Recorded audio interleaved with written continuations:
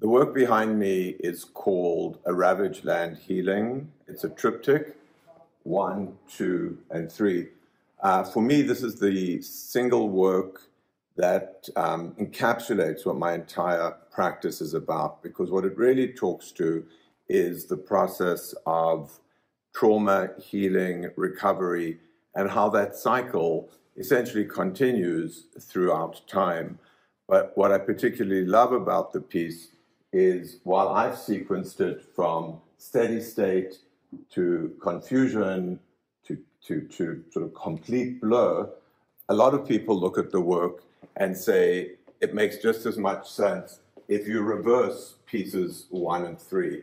And, and I love that about the work because it's so open to interpretation. If you reverse one and three, where do we go next? You know, when we get to number three, do we move into a place of further chaos or do we start to regain a time of stability, peace, and, and calming? And for me, the work um, should really be open to the interpretation of the viewer.